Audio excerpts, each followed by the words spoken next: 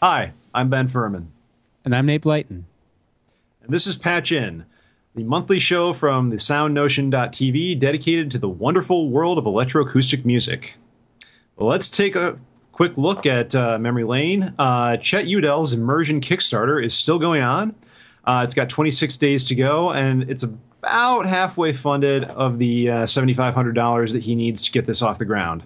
So go to Kickstarter.com and check out eMersion. For those uh, don't rem- remember, what is it? Just real quick, give us the one sentence.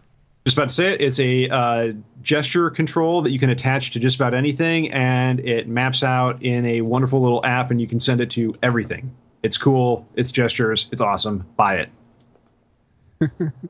in the world of audio interfaces, Antelope Audio has announced the Zen Studio it's an audio interface on USB 2.0 with their special kind of USB. 38 inputs, 32 outputs, a mix of analog and digital, and it looks like it's pretty snazzy in its red new box. Check it out. Uh, there's an article about it on Sweetwater, but it's uh, it was announced at Musikmesse. That is a lot of I/O. Yeah, it's a ton of I/O, but uh, I can find a use for it. Um, also at Musikmesse, Kurzweil unveiled the new Forte stage piano.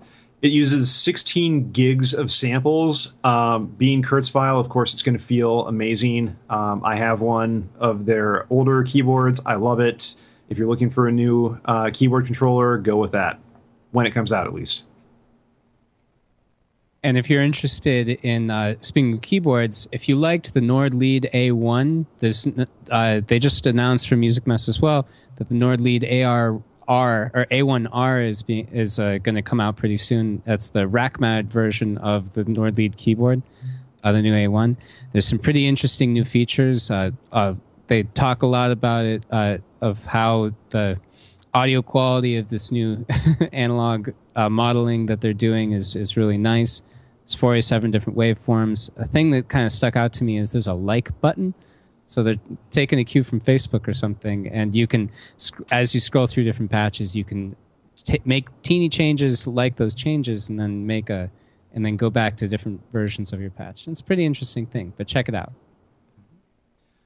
Okay, and from everybody's favorite maker of iPads, Apple has announced that they are no longer going to be making the second generation iPad as sort of the starter model in the product line. Instead, they will be dropping that in favor of the iPad 4th gen, which, as you all know, has a much faster processor and Retina display. Uh, of course, the iPad Air, the 5th gen, is still going to be manufactured as well. So, well, what this means practically is that now you can start to see uh, more apps that are going to come out that will be more resource intensive and we'll be able to do cooler things for music. More live sampling more live looping more cool effects hopefully some spectral processors. Should be cool. I, would add that the big thing here is that, that this is one of the last ios devices that still has that 30 pin connector. So if you've got any hardware oh, yes. accessories that use that 30 pin connector uh, you're going to be sol pretty soon. Yeah it's going to be lightning from here on out. Um, back to kickstarter real quick uh, some of you may have heard that Neil Young has a very interesting little project out there. Uh, it's called the Pono Player, and it is a high def audio only music player that is shaped like a Toblerone bar. Uh, it does not win any points for design, but audio quality, it should be better than pretty much anything else that's on the market. Um, also, you'll notice if you go to the Kickstarter page for the Pono Player that they have received four million eight hundred and three thousand dollars in change as of my last refresh of their initial goal of eight hundred thousand. So this sucker's getting made. You will probably be able to buy it uh, through their website. But if you want to get music for it, you either have to rip your own super high def audio, or you have to go through the Pono Music Store, which will be selling everything at up to 192k FLACs. Um, my interface is able to go that high on a good day. I don't know how many people are going to actually be able to use that at its full range. Yeah, it's it's a pretty interesting idea being able to do studio quality audio in your car. It's going to be pretty fancy, I think. Um, and the video for that struck me like there was so many. It was like a star-studded cast, all giving their testimonials. It reminded me a little bit of. Uh, I don't know if any of you have seen this. Uh, there was a hoverboard video going around, like the the eighty the Back uh, to the Future two. Yeah, exactly. Yes. I, so I'm trying a new thing in our new segments of doing segues. So speaking of '80s movies, if you ever watched the, the Wiz, the Wizard, with its Power Glove super race en- ending with uh, yes. as they were playing, yeah. So if you're if you're into that, we've got another Kickstarter for you. Imogen Heap's state of the art wearable tech. I'm quoting the Kickstarter. It's bad form, but she she's got the this glove that she uses in her live performance, and she's making she's going to be making a version that all of us can use. So you can go to her Kickstarter and check it out. But it's it's pretty fancy. There's touch control, flex control, and uh, all these different things. But it, it looks like it's going to be a wonderful new power glove for all of us electronic musicians. Yes, and to the good people who are making this, if you decide that you want us to review it, uh, we can be bought very shamelessly cheaply for uh, new hardware. Yeah, exactly. One power glove will get you this. well, not a power glove, but you know, the yeah, yeah. Move glove. Gesture controlled glove, yes. Yeah. So but this is new thing from Imogen Heap, and it looks like it's going to be really wonderful. I've seen some wonderful video of her using it, and it seems like a really good interface. So can't see, what, can't wait to see what people use or make using this product. Yeah, I would really like to put one of those on a dancer, among other exactly. things. but that's all we have for products. Of course, Musikmesse had a lot more stuff, so just Google that, and you'll find even more that we couldn't fit in today. Uh, mostly, that's because we need to introduce our guest. Uh, tonight, we are joined by the newly minted Dr. Andrew Cole, who mm-hmm. I think we've got uh, a photo of somewhere. There he is. it's a moving photo, like in Harry Potter. it's amazing. so, thanks so much for joining us, Andrew. Yeah, thanks for having me. Mm-hmm. So, in addition to the doctorate, uh, you've also just finished a Fulbright in yeah. New Zealand. Yeah. yeah. Which, I, that that's amazing. Can you tell us about that? Uh, well, it was a pretty wonderful time. Um, you know, I, I, New Zealand, of course, has um, a, the, the entire the I'd say the culture has a, a closer uh, relationship to nature than I'd say I'm accustomed to in the states, and so it was it was really um, it was really just wonderful getting to go and and meet all of these um, these just crazy hikers and crazy hip, hippie people and realize that this isn't that basically I'm not weird. This is the whole culture there, you know. Um, and to do things like in the middle of winter climb mountains and uh, and uh, camp and and uh, you know, just basically experience this really rich culture. It was just wonderful. I'm trying to think of a Hobbit comparison I can fit in right now, but uh, none striking me. That sounds well, my like wife grand and I adventure. Visited, uh, we visited Hobbiton, and it's it's oh, basically it looks like pretty much a it looks like the North a lot, but many other places that are just kind of like rolling mountainous areas. So yeah, it's amazing. But now you're back. Uh, you've completed your defense at uh, University of Missouri Kansas City, which is yeah, Davis from Missouri. So, uh, but which is a program that is renowned for turning out some of the best uh, electroacoustic composers that I'm hearing at festivals and on uh, Counterstream and Pandora and pretty much every outlet. So, tell us about that program? Well, I'd say I'm in good company and, and quite humbling company, to be honest. Uh, um, well, you know, it's a great, it's it's a really great supportive program. Um, uh, there are, are really four main composers there: uh, Dr. Chen or Chenyi uh, Zhou Long, who write primarily acoustic music, and uh, Jim Mobberley, who writes both, and then Paul Rudy, who I mean everybody they are both Paul and Jim write both, but uh, Paul really seems to focus more heavily, most heavily on electronics.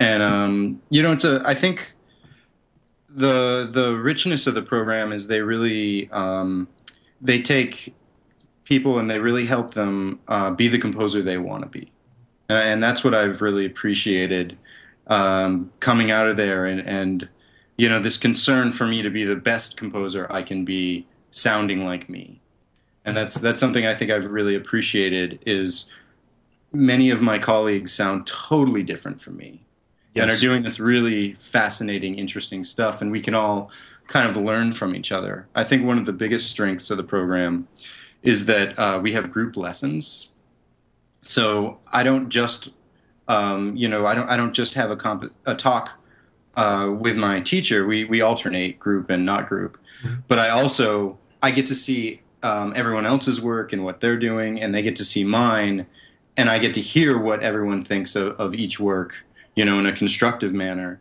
and uh, and and the faculty member thinks, and and you know, so let's say uh, my friend Scott Blasco.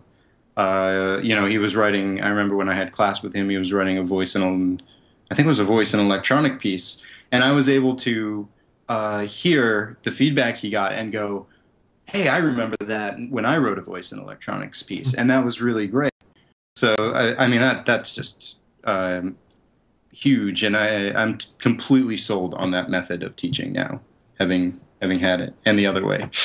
yeah. Now that's interesting that you bring that up because um, Nate and I studied both at uh, Michigan State University, and we had not that. Yeah. uh, we had individual lessons, and then every week we had studio class, but there was never this focus on the idea of the group lesson and kind of focusing on similarities and uh, comparison and contrast of each individual person's style within that studio class. Um, so I'm really interested in uh, the idea of teaching that, and especially how you would teach a group lesson when you have someone like yourself who's focusing primarily on electroacoustic music and also at the same time someone who's focusing more on just traditional acoustic composition.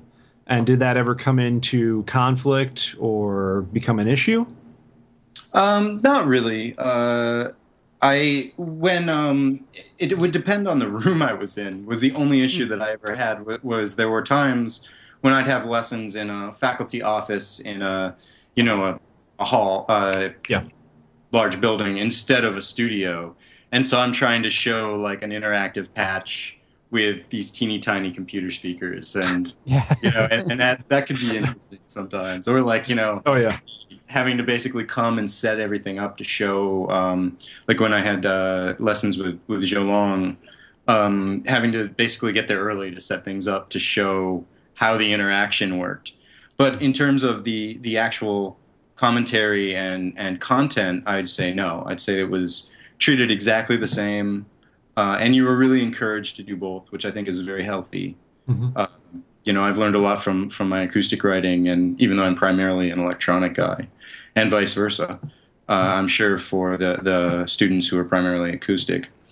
Um, so that I mean that was nice because I came from a different program uh, at Peabody where we focused entirely on electronics, and you actually had to do a completely different major or not major but degree. So I actually ended up having to do spontaneously a degree in composition and a degree in electronic music or computer music is what they called it. Yeah. But uh, and that was maybe uh, you know a lot of work. I was good. Yeah. I learned a lot. Yeah. It was a great program, but um, but I I really appreciated this this sort of openness and and willingness and really willingness to let you try try crazy things. Um, which you know I would say, especially in the electronic program at Peabody, it was the same sort of willingness. Um, but here it was just completely cross boundaries and you know wonderful. And I got um, excellent. I have gems from each teacher that I, I carry with me now, which is a really nice. And you know, I went back to see them after being gone uh, for a year and a half, I guess, and uh, yeah. and that was nice because it was like you know I've have a nostalgic relationship with the place now. yeah. Our producer now, Dave is uh, in the back channel is asking a question. What what's the craziest thing you got to try in terms of interface and, and or electronics or or any kind of intermediate things uh, when you were doing that program, or or any of your programs, I guess. Well, so probably the craziest thing isn't that crazy now, but in 2001 I did video tracking with uh, uh, dancers, and so this is pre jitter. Pre jitter, you were doing video tracking, Andrew. Um, yeah, so I used. Um, oh boy, it was a long time ago. Yeah. Uh, I used. Uh, what was the name? It was the guy who makes like the Sonic Banana in New York. He wrote this software. Oh. Uh, but I can't remember the name of the software. But it was, it was, uh, it was great. It was very simple, which was probably which was perfect for me at my, you know, place as an undergraduate. Um, but it basically did color averaging and and divided the screen into grids. Cool. Yeah, it was uh, really was it nine different boxes that you had, and it was able to track from box to box. Exactly. So I remember, remember using that. I can't remember the name of that for the life of me right now. Yeah. But Jitter came out, and of course, it was like so much more powerful. It came out, I don't know, two or three or four years later. Yeah. So that there was that. I did. I built. Um, I did another project um, where where I built reactables while I was at at UMKC, and that was oh. fun. We built yeah. reactables and improvised and and uh, had you know multi-channel video, which I, I'm a big fan of, and multi-channel yeah. video. So that was pretty neat. But That's those are those are mostly it, I think. Yeah. nice. Uh, speaking of video, I I was just uh, I haven't had a chance to watch it yet, but I listened to the piece. I was just turned on to your uh, your video for Frozen Atmospheres. Can you tell us a little bit about this piece? Uh, so it was um, it it was written for Nick Zoulek, and um, he's uh, also um, from Wisconsin, or, or, at that time was going to school at Whitewater. Mm-hmm. Um, and so I was really trying to tap in to this idea of of basically how how cold it is in Wisconsin. Really, you guys were in Michigan. I can sympathize. Yeah, yeah, yeah. exactly. I grew up in Florida, so I can't. yeah, such a jerk. Well, I grew up in Maine, and and so oh, I, right. I this. But then we lived in Baltimore. You know, my wife and I lived in Baltimore for ten years, and became acclimated to weather that's a, a tad kinder, maybe. Mm-hmm. And then we moved up to to Wisconsin, and we were both like, wow, okay, this is serious, you know? And, uh, and so I was thinking about that when I was writing the piece. And, um, you know, I'm really trying to, uh, trying to explore the saxophone in a lot of ways. I have a real glitchy sound, and so I'm, I was playing with that a lot. And Nick and I talked, and he's he had been studying um, studying this circular breathing and multiphonic technique, which I don't actually use. Um, in the actual saxophone writing, but I put I recorded it and put it in the electronics constantly. So a lot of the stuff that might sound like synths is actually him playing. Um, nice. That then I've just really processed a lot. Yeah. Uh, but you know, I did that, and then I I have things like samples of water and samples of ice. I embedded some contact mics in uh, blocks of ice, and then let them uh, thaw out in my bathtub and recorded that. Nice. Um, you know things like that. A pra- there's a prayer bell in there. I tend to, uh, you know, for better or worse, I tend to throw everything in there. You know, I'm I'm really I really like to mix mix up samples and ideas and stuff like that. Mm-hmm. Um, yeah. So, and I process things so heavily that I'm not sure that it matters. I don't know. well, you you end up oh. getting what you're hearing out of whatever the input is that you that you have, I suppose. Yeah. Exactly, and I really think you know, um, I've been doing it long enough that I can really, you know, I'm inspired by sound, but I'm also I can think, oh, you know what I need here, and then I just go and I find the sample that I just chopped up, and and do the process that I need to to get that sound. In the same way that it's like, you know, this chord really needs to be a C. Yeah. So yeah, exactly. well, and I find personally that I might process you know 80 90 samples for a given piece and only end up using half of those yeah. but still having gone through the process of that it helps me to better pick which ones i'm actually going to use for a piece and then i have this huge library that i can choose from later. If i need something that sounds similar but slightly different or if it didn't work in this context i can always reuse it later. Exactly. Exactly. It's um it's funny that you talk about because so in new zealand i recorded like thousands and thousands and thousands of samples. And so I'm I'm I, I do this, but I'm at this place where I'm like overwhelmed with samples right now. So it'll be interesting to see how my next piece comes out. You know. yeah. Now you recorded primarily bird calls from yeah, that's New Zealand, correctly. Well, they don't have mammals, so. Well, yeah, yeah. My my options were pretty much platypus, maybe, but uh, yeah, yeah. Well, they they have mammals that were brought in, and I certainly right. got some of those. Um, but uh, like like pigs and dogs and and obviously humans and sheep, the big the big two, I guess, and cows. Uh, but um, hobbits. Hobbits, exactly. Yeah. Um, but uh, actually, what's funny is my wife and I are so much shorter than anyone in New Zealand. So when we'd walk along, we were very much, you know, we'd tease each other like, we're the hobbits here, you know? nice. that sounds like a lot of fun. Yeah. Uh, well, it's fun. Yeah, it's, so, all right, go ahead.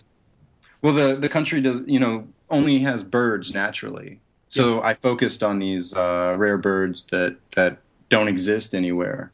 Mm-hmm. Uh, you know, so I really um, I, I aimed for like these these uh, kind of going extinct species, which is doesn't sound as cheery as I'd like it to sound. But yeah. the takahe, which there's only like 50 of them, you know, and and uh, and uh, kaka, which is a wood parrot, and things like that. It's awesome. The kaka is so cool. It's like a dinosaur.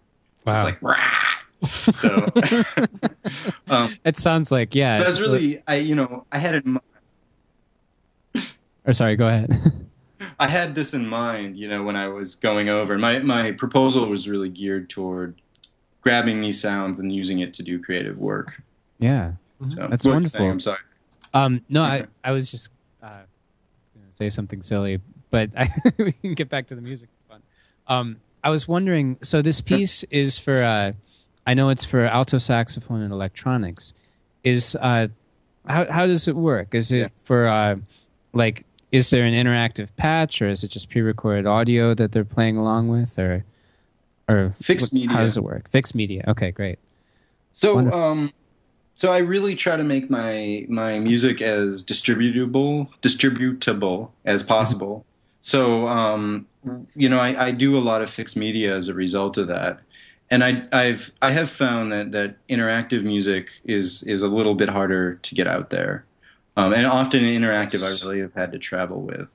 Whereas um, whereas fixed media is great because you send it off, and you're like somebody has to hit play, right? I mean, on top right. On top of that, um, you know what I do is I often um, I you have to have a click track or I have to have a click track. Every time I see someone without one and then I hear the piece and I'm like, why can't I be that smart? but uh but um but anyway, it's you know, it'll have a click track. So what I do is I'm and I do videos for everything. Uh-huh. Um, or most of them. And that's uh actually was really inspired by uh, Mark Snyder and uh, the oh, EABD yeah. uh, festival and the, the quantity of video that I saw there. And just and I, I you know, I, I also feel it's this is opening a can of worms, but you know, I think that uh, being able to bring more uh, sights and sound, more than just sound, you know, to being being able to bring this extra element, I think creates more of an experience, and so that's that's a real goal with my music. So that's the other reason I do that a lot. Right, and I think that for the audience in particular, that you have to deal with the idea of uh, something I read in a book once. Uh, they're talking about uh, Arab music and the idea of the educated audience versus the uneducated audience.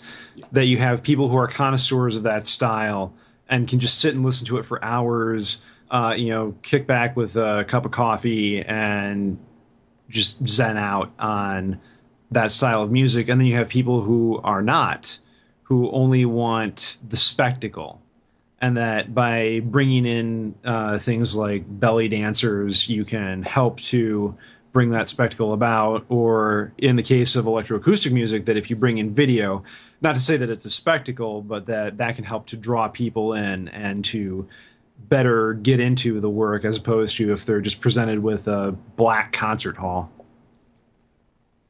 And I imagine there are definitely ideas that could happen in the relationship between what you're seeing and what you're hearing that you wouldn't be able to Yeah. just achieve through. Yeah, I think that's absolutely alone. right on. and uh, yeah, it, and watching some of what you what you have done, it's really interesting, and it, uh, the visuals are very rich, and the audio that we're hearing is really, uh, you can hear so many different things in it.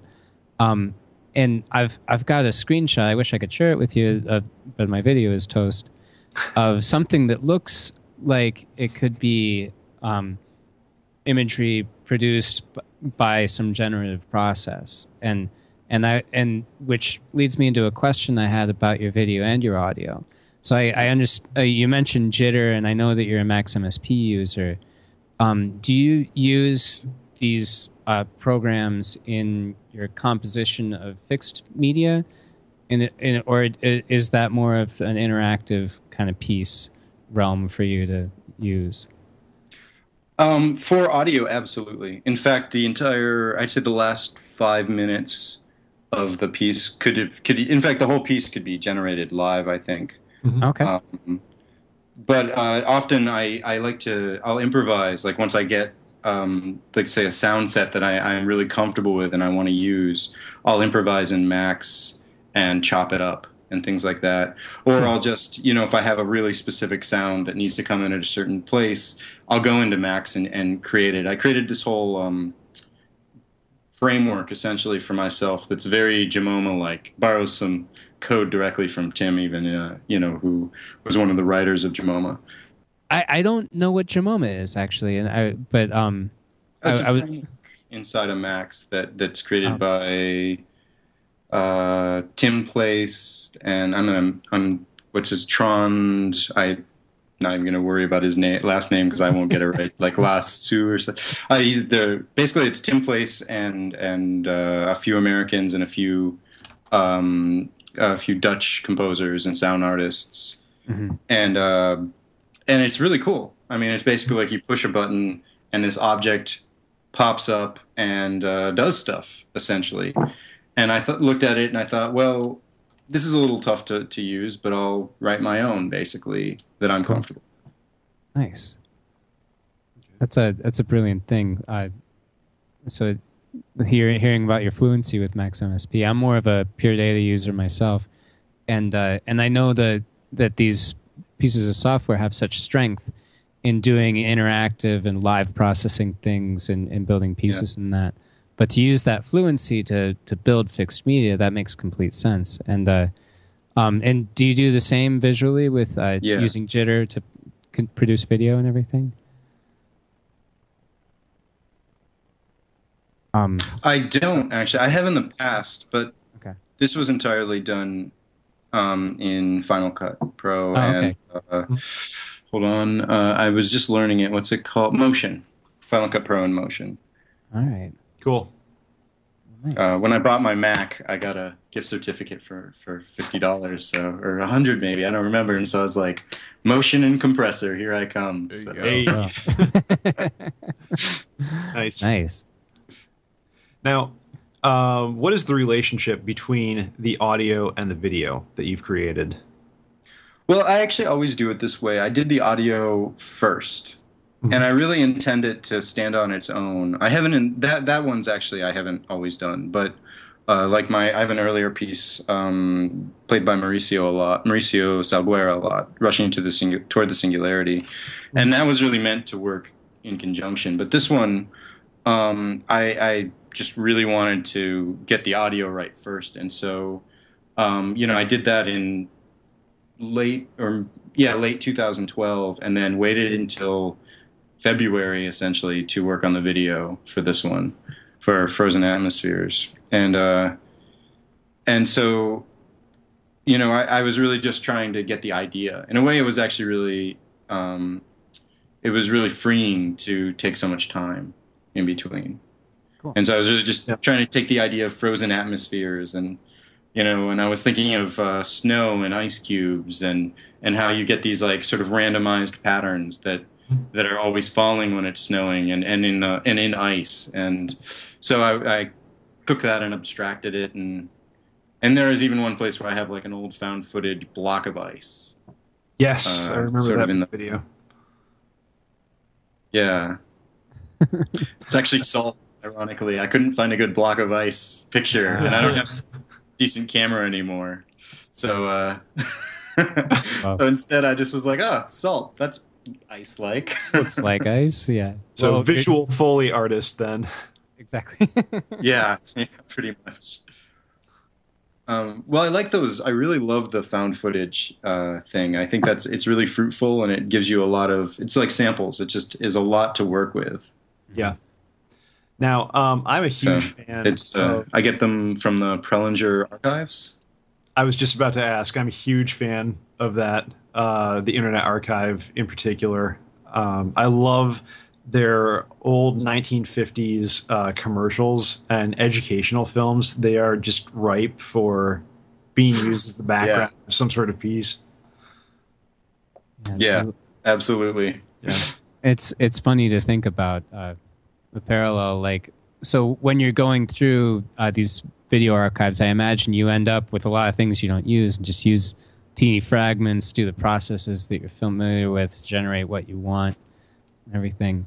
Um, and yeah, that that sounds wonderful. I have a I have a question, I guess. Um, we've been talking a lot about uh, software, and then we've we've also been talking about how you went to New Zealand, has this wonderful like physical and uh, cultural and huge contextual experience of being out on a mountain and and being able to do these things. Um, I was wondering. Uh, I'm trying to make a bit of an abstract connection here. Uh, as electronic com- composers, we end up dealing with computers and this kind of abstract thing that ex- exists in our ears or in our eyes, in your case, or in our internal head and everything. Um, but like climbing a mountain, we get this physical experience of really interacting with the space and everything. And I was wondering, as a as a composer who's interested in connecting with the earth in this way, uh, I just I'm curious about what your hardware connection might be in in your process of making this uh, this music and video. And this is a long-winded way to say is like, what's your gear setup like, man? uh, okay. Well, um, so uh, so in terms of cameras, I actually use a flip camera that I bought a long, long time ago. Nice. Which is perfect because it ma- it looks like it's all shot in the 50s because it's the colors are dull, and so it works with the found footage really well. If I get a high density camera, it'll probably be the end of found footage for me. uh, but um, in terms of uh, samples, I have a, a Rode um, shotgun mic. Okay. okay. And uh, and I use that really heavily, and then I have uh, the Roland, um, the one that, that, it came out. I mean, I basically bought it right when it came out. It's the six channel um, it, it's awesome. It's six channel uh, recording. It has uh, a pair of XY, a pair of Omni, and uh, and and preamps, and they're and it's all really quite good sounding. It's mm-hmm. like 500 600 dollars. I don't remember. I think it's I think it's only five. I think it's really affordable for what you what you you know what you get for what you pay is remarkable. Yeah, good bang um, for the buck. Nice. Yeah, I'd have to go look at the at the number um, number on it. If it's it's not the R09, I think it's the one that came out after that. Yeah, the R09 was uh, still Edirol, I think. Yeah. Yeah. Oh. I can go grab it if you want. we, ben and um, I usually try to have a prop or two of what we ha- the kind of gear that we're doing, but you you don't have to grab it. It's fine.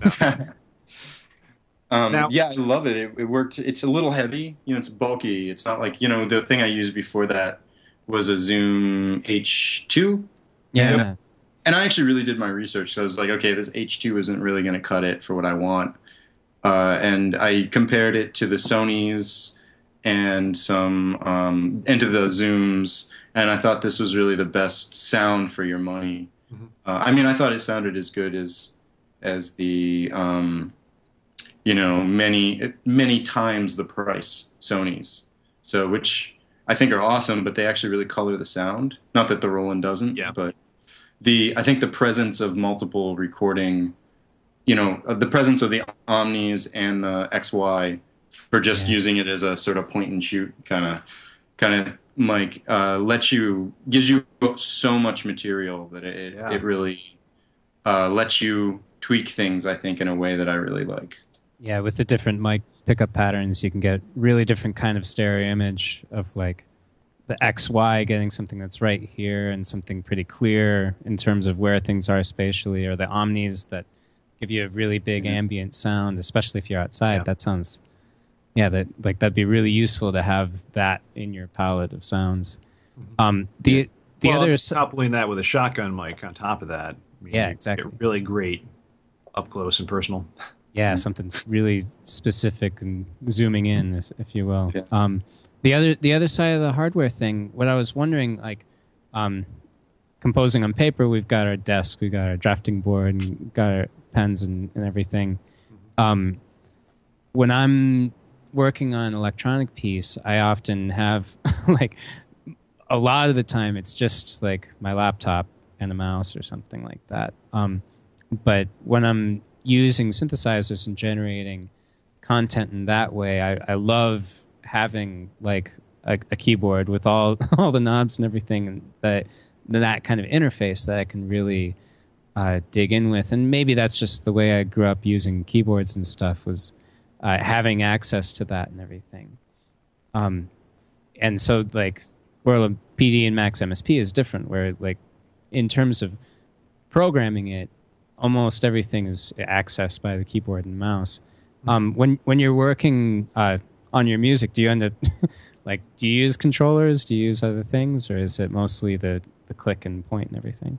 Um, well, uh, I'm kind of old school in a way because I, or at least I feel that way when I, I work with students now. But uh, I, yeah, I don't actually. I, I really like. I mean, we have a, for logistical reasons, I think more than anything, we have a, a Roland Fantom, and that's my primary sound box. I actually, ironically, prefer to compose on the Yamaha, on, on like the fifty dollar Yamaha that I, yeah, I own, that, uh, be, because it's it sounds horrible unless it's in the well it sounds horrible but yeah. it, it, if i have the piano mode you know just the basic piano it's tolerable and then i don't mess around with all the other settings when i'm just sitting down to just compose to just write acoustic parts sure. and, and, i'm very uh, i always start with pencil and paper and jump between sibelius and you know as i get through drafts i move further towards towards sibelius and from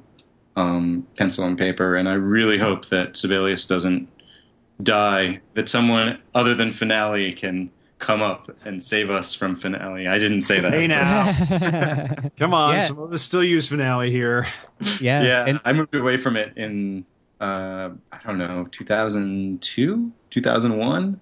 And I haven't really looked back. Whenever the very, whenever Sibelius came out, and so I'm like, oh man. I mean, I've taught finale, but I'm like, man, I don't know what that'll do to my process. So. well, I don't know if you've been following what's been happening with the old uh, Sibelius team. Um, they've moved yeah. over to Steinberg, and they're yeah. developing this what can only be a brilliant new notation software. And so, hopefully, this one will save us all. You know. hopefully, well, might save you. No pressure, Daniel and team. Yeah, exactly. well, uh, I'm fully committed dark side. So uh, yeah, exactly. Yeah. It'll be very interesting because I don't know if you guys have used Nuendo, but that if I yes if I had the money, that would be the software I would choose to use. Really, I haven't I haven't used it at all. Actually, what's what's it like? What does it's I I so I had mentioned the experience thing, and I'm really sold on multi-channel. Mm-hmm. Um, if you're doing fixed media, especially, but even in I think there's a lot of potential in live works for multi-channel, and we're seeing it used more and more too, which is yeah. awesome. But uh, Nuendo is like fantastic. It has been a couple years because again, back to the money issue. But uh, okay. uh, last time I used it, uh, I was just blown away by the software, and it just it handled. I think we could do. I, I used it at a, a tape uh, workshop with Hans Tutschku, and we used it to record 24 channel tracks and things like that, which is pretty cool. Wow. Yeah, and it handles surround so much better than some of the other programs out there too. Um, I've only used a little bit, and I would, if I had the money, I would have a copy of it. Yeah. So. well, I use primarily, well, used primarily Digital Performer um, and uh, Pro Tools. Yes, I remember the uh, Facebook the anger that, on Digital Performer. Well, I used to love that program, but I think I think Digital Performer and I have parted ways after my last tape piece, so hmm. that's okay. it's time. Yeah, I don't know. I, I grew up using Cakewalk and Acid and stuff, and so this is like Nuendo was one of those things that was, was way too expensive for me to get into. And then I got into Pro Tools as part of school and everything. And uh, and like the job that I have now, they were using Logic, so I use Logic, and it's kind of bouncing yeah. around. But uh, and so like doing high detail surround works is really kind of outside of, of, the scope of what I've been doing lately, and so it's it's cool to hear. And uh, I've been interested in what Steinberg has been doing for a while now. Um, especially with the the potential for a new uh, notation software and everything. So I might I might try to get a hold of a copy of this Nuendo or demo or something. Check it out. Well, but, and given Steinberg's uh, history of bringing apps to iPad, we can hope that if they do have a new notation product coming out, that it will also have a mobile version. Yeah, they've, they've I know they've been talking about it a lot on the Steinberg blog and everything, and uh, yeah, and talking. I mean, I know that Wavelab was one of the things I used to use on uh, Windows, and I know Cubase. They've been trying to be cross-platform for a long time. Yeah, yeah. One of the one of the nice things about the way they work over there in Steinberg Labs. yeah. Well, I mean, it'll be it'll. I, I really honestly mean this. I don't mean it negatively. I look forward to the day when I can spend a lot less and get a PC, and uh, and not run my not get my Mac. Yeah, do, exactly. Do love my Mac. Yeah. But, oh. I mean, I well, so uh, when I first got a Mac, it was because uh, I was getting into PD, and I was I had been using Linux for a while. Yeah. For for the same reason, because it was uh, I don't know it was it was cheap on the computer that I had, and it could run a lot of the software, but it could run almost as well on a Mac. And so I was like, oh, this will be a nice stable thing, and, and go that way. Have you ever dug into Linux or doing yeah. the open source thing? I used to run it um, before I, I, started running Mac. When before OS 10 became before, you know in OS 9 days.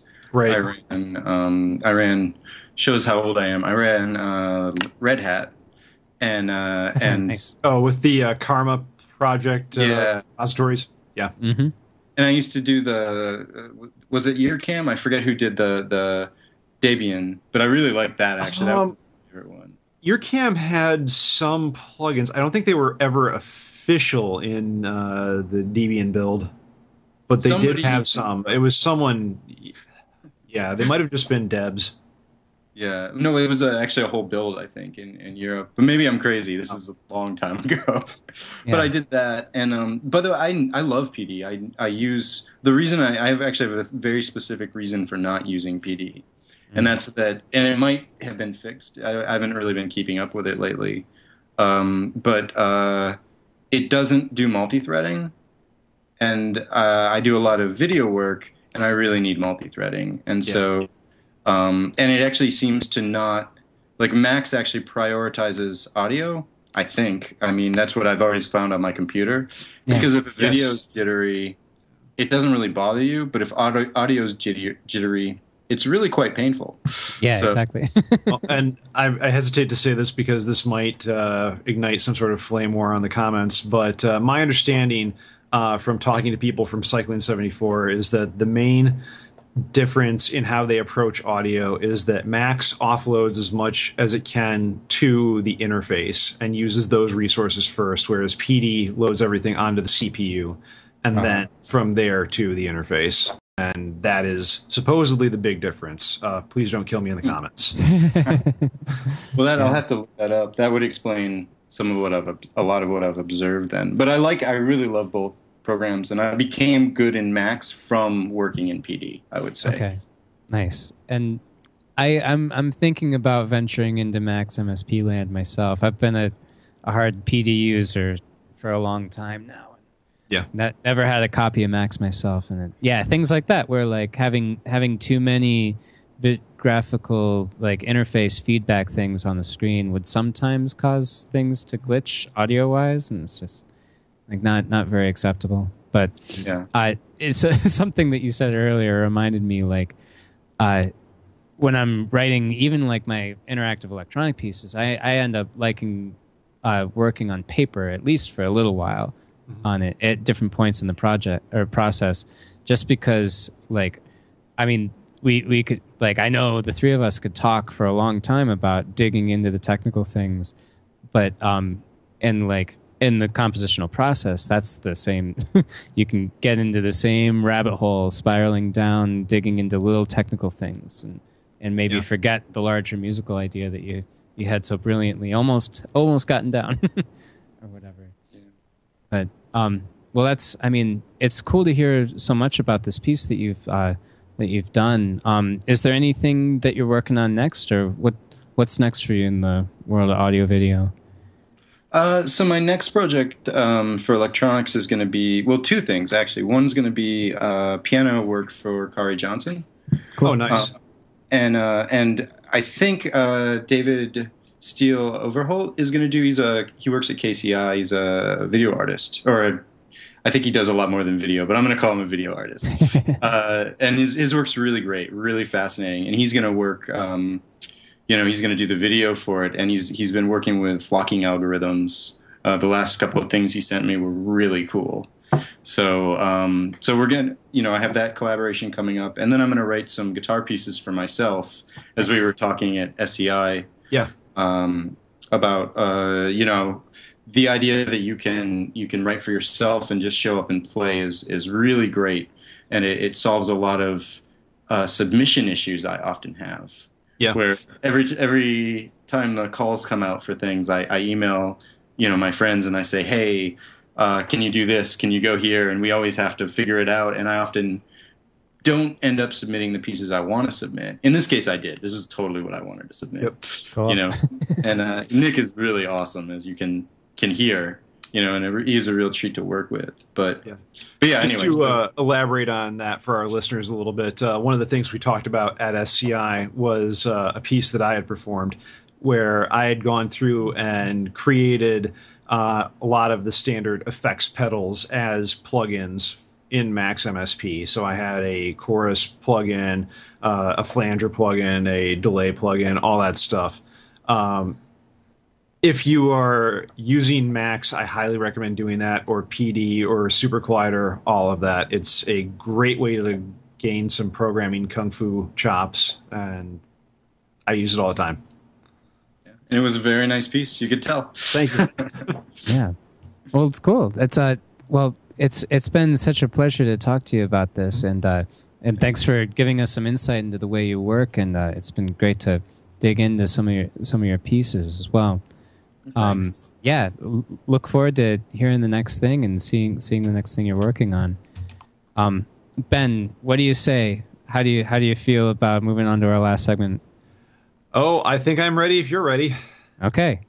So this month's uh, two minute challenge. This is how we end patching every month. Uh, ben is going to address sample rate. So. and uh, sample rate, like all the things that we talk about, can be like a pretty dense topic and uh, talk about for a long time. But Ben's going to do his best in two minutes. two minutes. I am going to dramatically simplify some things in this. Sounds perfect. So, so cool. So counter is ready. Ben, you have 120 seconds. Not yet. Okay. Well, almost. in a couple seconds, you will have 120 seconds. There we go. And Andrew, right. I don't know if you get a kick out of this, but this is a green screened PD patch right here. There's a green canvas element that I'm keying out. Anyway, Ben, you ready? I'm ready. Hit it. Okay, so anytime you open up a Pro Tools session, you see the option to set something called the sample rate to something like 44.1K, 48, 96, whatever.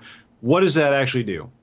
Well, the sample rate is going to uh, set up the most fundamentally important part of the DAW, and most likely the file that you bounce at the end. What it is, is it's simply the number of samples of audio frequency, uh, sorry, amplitude, not frequency, uh, per second that are sampled by the digital audio program. So 44.1K sample rate means that there are 44,100 samples of amplitude per second in an audio file.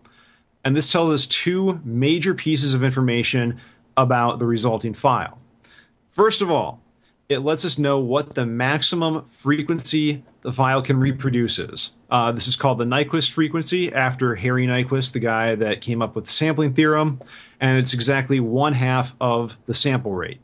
So if we have a sample rate of 44.1 kilohertz, then the maximum frequency we can reproduce with that file is 22,050 hertz, which is a little bit above the range of human hearing. Uh, two, it also gives us a good idea as to the overall quality of the audio file by kind of giving us an idea of how smooth it is. Uh, when an audio signal is converted to digital information, it only takes points of amplitude and then it steps between those. So you get kind of a staircase effect that your uh, digital to analog converters in your ears will help smooth out, but it still helps to explain why things like phones, which have lower sample rates, sound a little bit more gritty as opposed to things like CDs and Blu rays. So, to summarize really quickly, higher sample rate equals higher max frequency and better audio quality. But as long as you're at about 44.1K, you're getting CD quality, which is good enough for almost everything. Nicely done. Right on. Right on the two minutes. That's all right. In radio, kids, that's called hitting the post. well done, Ben. Okay. A graceful finish as well. yeah. Virtual fist bump. Exactly. Yeah. If you could see my video, I'm just doing it a little bit there, I guess. Yeah. yeah. Um, hey. So, anyway, thank you so much for joining us, Andrew. Um, so, Andrew, yeah, Andrew Cole. Uh, your your website is twocomposers.org. We can we can yeah. find uh, your new and old works there, as well as your wife's, who I understand is a wonderful composer as well. Yeah, very accomplished, excellent composer. excellent. Um, I'm not biased at all. no, no, no. Exactly. well, um, so yeah, thanks again, Andrew, for joining us. Uh, thanks, Ben, for doing this show. And uh, uh, I'm, my name is Nate Blyton. This is patch in part of the Sound Notion network. Uh, you can check out. We'll, we'll have all of our episodes at soundnotion.tv slash pi, or you can subscribe in iTunes or whatever podcast uh, catcher that you have. Um, you can support our show and all of our shows from soundnotion.tv by uh, following an Amazon affi- affiliate link on the website, or we've got place to do donations and everything.